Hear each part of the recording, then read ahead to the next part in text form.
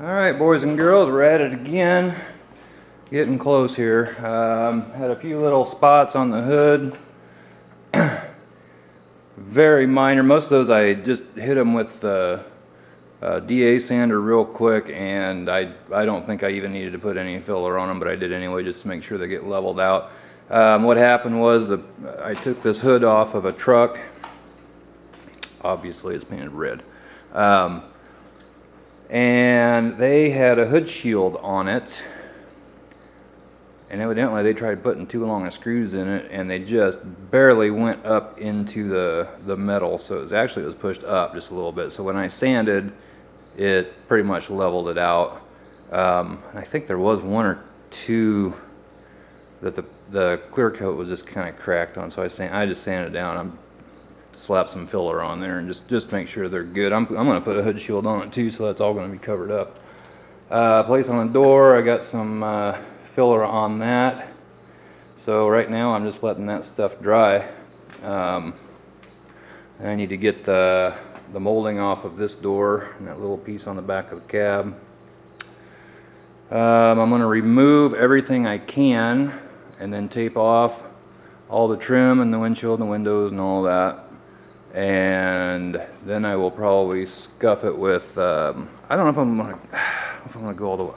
I'll probably scuff it with 180 180 I assume I don't know I might go do 220 I don't know or maybe I'll kind of go in between. Anyway I'll figure that out. Um, and then I need to primer the, the, the front. And then I want to hit the box again with um, I believe I left off 220 so I want to hit it with 320 and then I'd like to go over it again with high build and hit it with 400 at least I believe I have 400 I don't think I went straight to 5 but even if I did 500 would be fine. Um, and then once everything is primered up and taped off and scratched up and everything we're going to paint it. Now my wife and my sister started building me a paint booth um, out here which it's it's pretty simple just out of PVC come out here.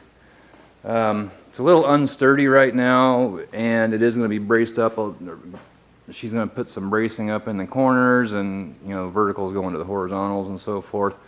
We're also going to tie it off to the ceiling and then it's getting covered with plastic. Um, the idea is we're going to put two fans up high, if we can figure that out, um, on that end. And then this end down here, it will be the exit, the exhaust. Um, it's possible I may just leave this end open. I'm not sure. It's the weather this weekend is I couldn't ask for it to be any better. It's supposed to be like 70, 75, 80 today. Today's Friday, so it's gonna be today, Saturday, and Sunday. Sunday's paint day. Low humidity, hardly any wind, and it's from the southeast, which is that way. Um, so there really shouldn't be anything getting in here. I could probably paint in here without anything and be okay. I'm gonna wet the floor down before I paint um, it's my understanding you get like 80 to 90% of the crap in your paint off of the floor. You kick it around with your feet, your air hose, and everything, and it sends those little dust particles and so forth up in the air. Um, and it gets in your paint. That light does work, so that'll help some. And then I've got each one of those lights is 500 watts. Each one of those lights back there on that one is 500 watts. I believe that one's a 500 water. Well, I think that one is too. I think I had another one that was 300 or something. I don't know. And then I've got that little one there, which I think I got a bulb for. Um, and I think I have another one around here somewhere. Yeah, there's one right there. And there might even be some more floating around, I don't know. Um, so hopefully I'm going to have enough light in there if I uh, I could go in the other side over there I can turn the power on in there there is a, I'm not sure what that bulb is, if it's 300 or 500 watt, that would actually probably be pretty good to get that turned on. Um, the thing I don't want to, thing I don't want to do, and the thing you don't want to do, and I know people do it, but you don't want to have anything electrical like um, fans or lights or anything in the the path of your paint fumes.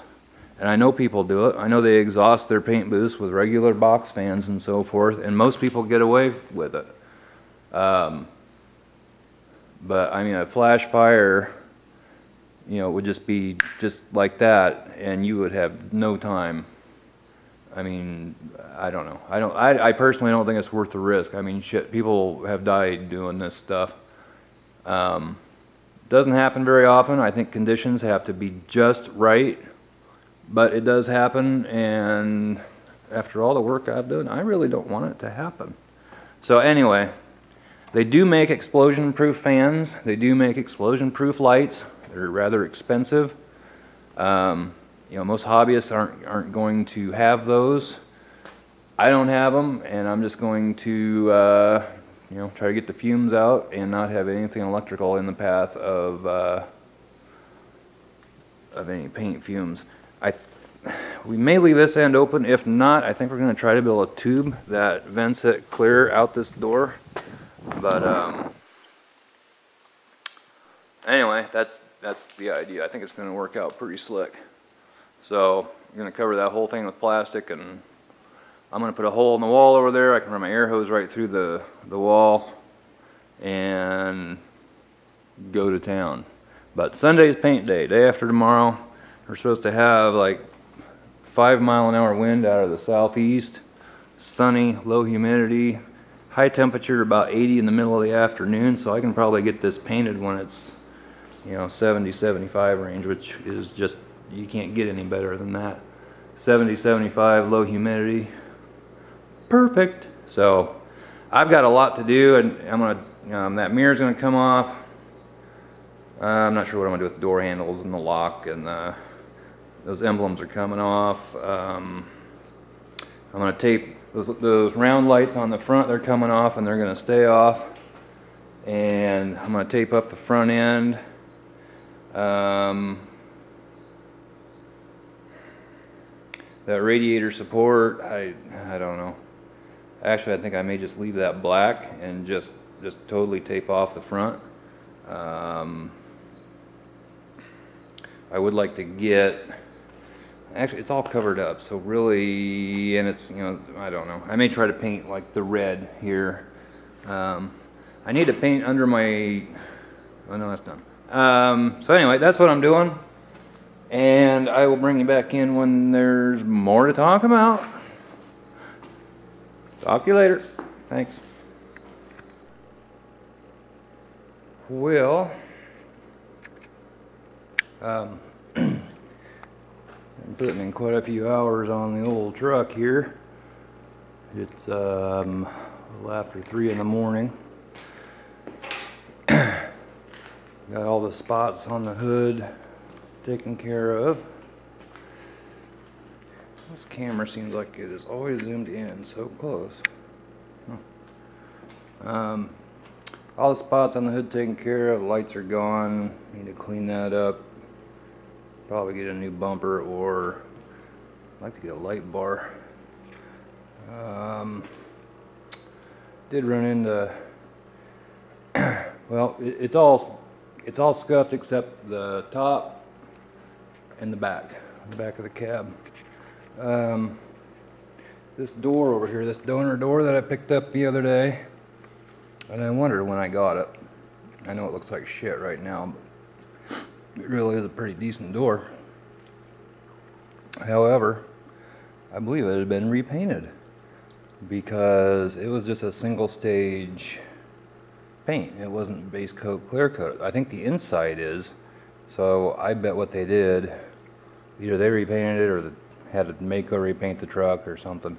Um, there's no rust on the door, but it was just single stage. So I got it sanded all down. Um, put a sealer on it, and then go from there. Um, it's right now. It I, I know it looks kind of bad, but it's uh, it's real smooth. Um, down where all the paint's going, right along the bottom. That big line right there. That's that's where that stripe goes. Um, and even though it's smooth, um, just in case it's not, it's going to be covered up anyway. So, but as far as I can tell, it's perfectly smooth. Um, other than that, I got it all scuffed with, um, what the hell was I using on this?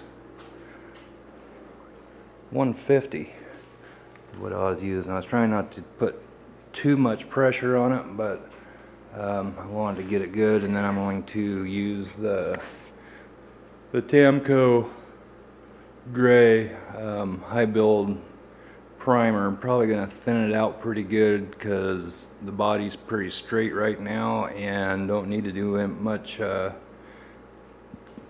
much high build and, and, and sanding. So basically it's using it as a primer. You can also thin it out, I can't remember the ratio, to make it a uh, sealer and that's what I'll do on that other door over there. And that's what I'll be doing tomorrow. First thing tomorrow I'm going to do the top and the back of the cab. Um, that won't take too long, but right now I'm I'm just tired. Um, got the emblems off, got the key cylinder out of the door. Um, so yeah, it's about ready to be taped off and get her primered and then on the bed um, like I said earlier, going to do another round of high build. Um, possibly not over the whole thing. Um, there's there's just some certain spots I'd like to uh, get. Um, I do need to get it all sanded down in the end to 400, and also get the the cab here, the truck part or whatever uh, down to 400, get it taped off, and Sunday, uh, which tomorrow's Saturday, Sunday is paint day. It's supposed to be, I know at 10 o'clock it's supposed to be 70 degrees with a 3 mile an hour wind out of the southeast, which is perfect because right now I'm walking west. And out here,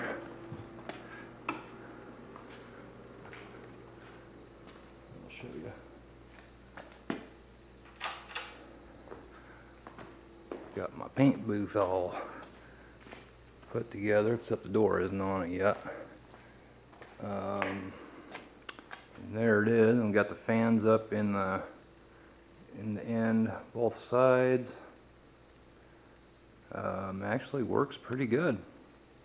I think it's going to uh, be real good, especially if there's no wind. This it's. I think I just probably leave this end open. Um, there's not supposed to be any wind fans, um, when they're running, I don't think they're going to affect me uh, with my painting. Because if you get up in here, you know, the front of my truck when I paint it's going to be, you know, right in here. And the air from these fans is blowing straight out. And anyway, I tried it out and it, it uh, um, I don't think it's going to affect my, my paint spray. I'm going to set lights up all around the outside of it so it gets lit up in here. And um, yeah, I think it's going to uh, I think it's going to be pretty good. So anyway, that's where we are. I'm going to go see if I can catch a couple hours of sleep and get back at it in the morning. Well, it is morning. I'll get back at it here in a couple hours. So that's where we are. So far, so good. In about uh, 48 hours, she ought to be painted. And I keep my fingers crossed that I can make it look good. So, anyway. I'm going to go catch a couple hours of sleep and I'll I'll catch you in a few hours. Bye.